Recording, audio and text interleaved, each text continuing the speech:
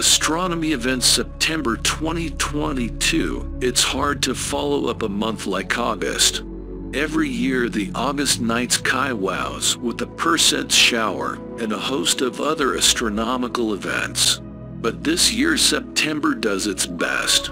The September night sky is full of interesting astronomical events. This month you'll be treated to a series of planet-gazing opportunities, a few other celestial objects, and of course the September equinox.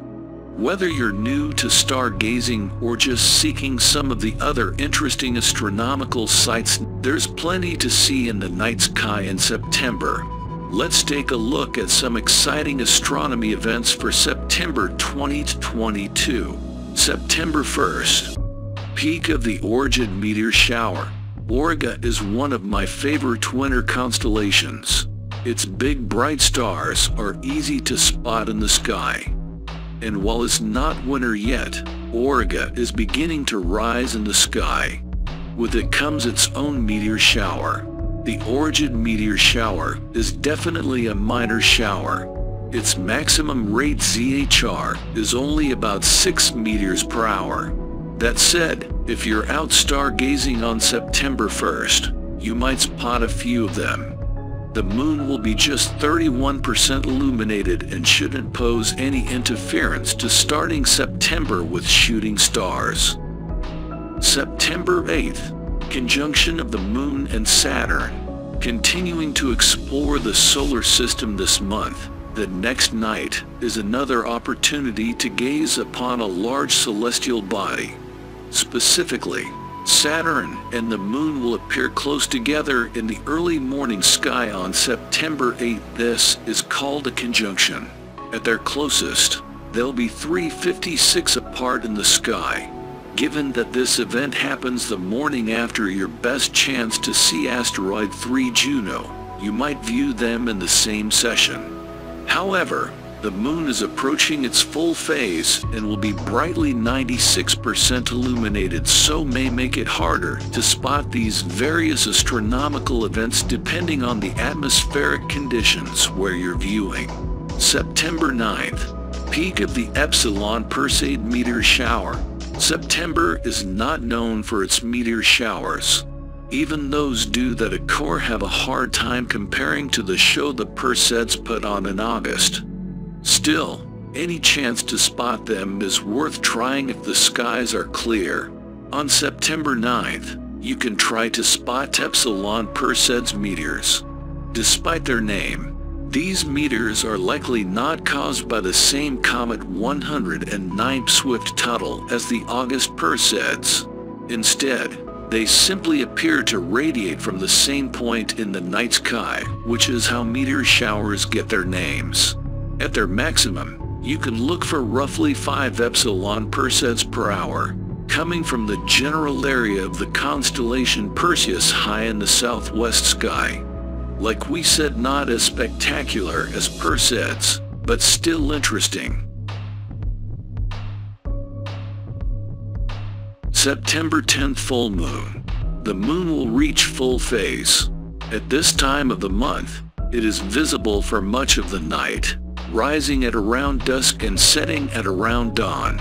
The harvest moon. The sequence of full moons that fall through the year are sometimes assigned names, such as the harvest moon, according to the months and seasons in which they fall.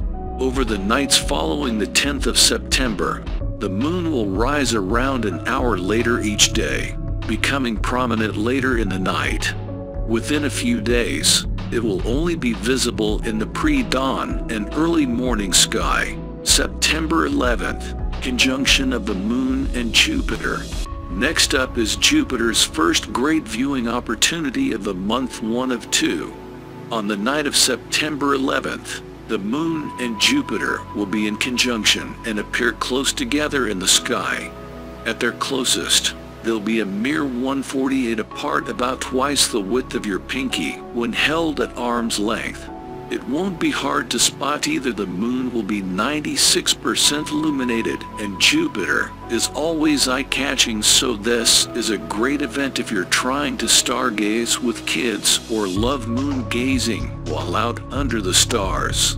September 14th, Lunar Occultation of Uranus. I've been mentioning it all year, but the lunar occultations of Uranus are some of the most exciting astronomical events to try and see and we're finally entering the time of year when they're visible from land rather than over the ocean.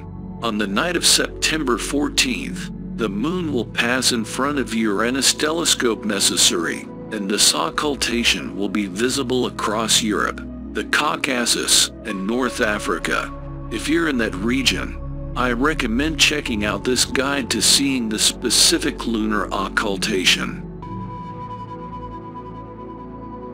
September 16th, conjunction of the Moon and Mars. As the Moon begins to shift back toward its new phase and my preferred time of each month for stargazing, there are still astronomy events worth seeing in the September night sky when the moon is about 56% illuminated on the night of September 16th, the moon and Mars will be at conjunction and appear near one another in the sky.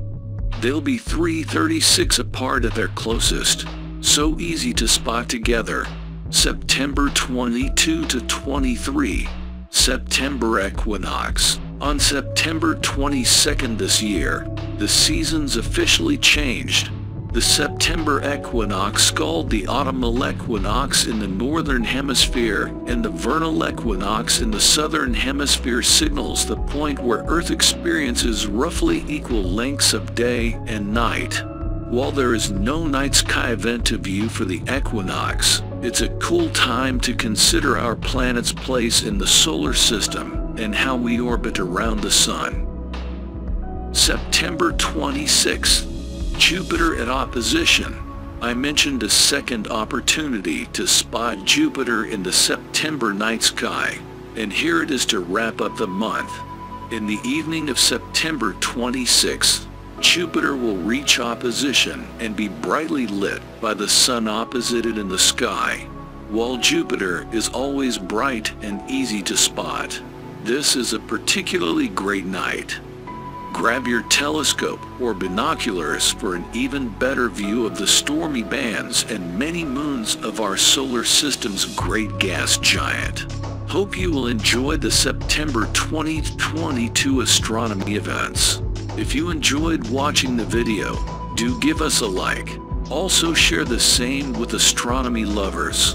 And subscribe to our channel, Secrets of Space, for astronomy updates.